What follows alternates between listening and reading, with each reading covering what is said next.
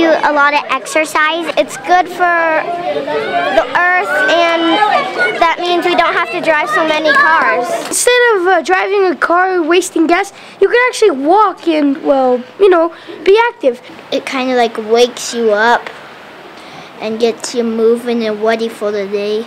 You get to meet new people and there's fresh air. I walk every day even when it's freezing cold. Even when it's really cold out, we usually walk home and to school. Sometimes we have to walk through snowing, but we'll we'll go through almost anything. And you to see nature and all the wildlife around you.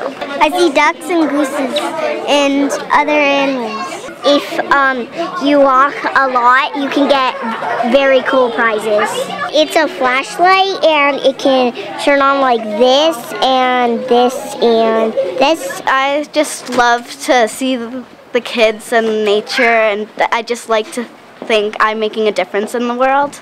As I move on through this school, I'm going to continue walking and when I once I go to other schools, I'm I'm probably going to encourage other kids there to walk to school if they drive or something.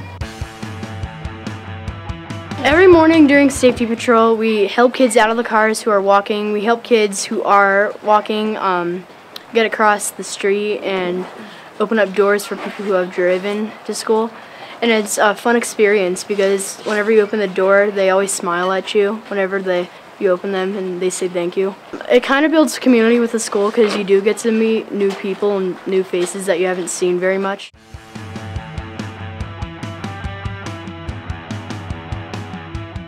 Kindergarten walked to Olympia, Washington. First grade walked all the way to Cabo San Lucas, Mexico. Second grade walked all the way to Dallas, Texas. Yeehaw! The third grade walked to Minneapolis. The fourth grade walked to San Francisco. The fifth grade walked to St. Louis. Altogether, Superior Elementary walked to Venice, Italy. This is a silver sneaker award. You put a bead in the jar for every day you walk.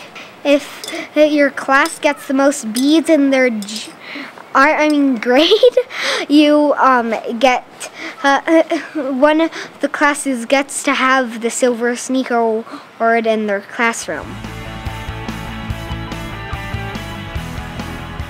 So this map that we have right here shows right here is Superior Elementary and this big circle is one mile and every dot represents a home that has students living in it. And as you see, really within half a mile, we have almost all of our students.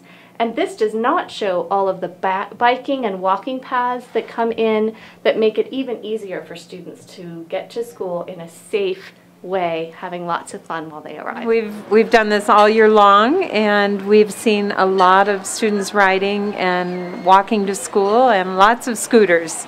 So it's changed our drop-off. We used to have a big backup of cars out into the main street, and now we don't. On WOW days, the parking lot is almost empty, and, and the kids are having fun with it. They enjoy it, and they know the importance of, of um, the environment and not polluting and the health benefits to them. So it's been great. I think it's been a huge learning experience for our students.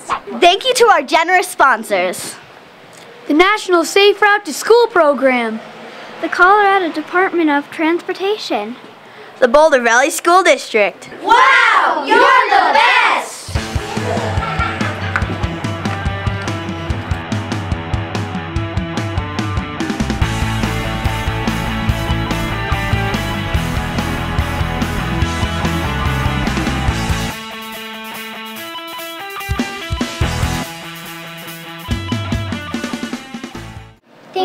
Teacher, for supporting WOW.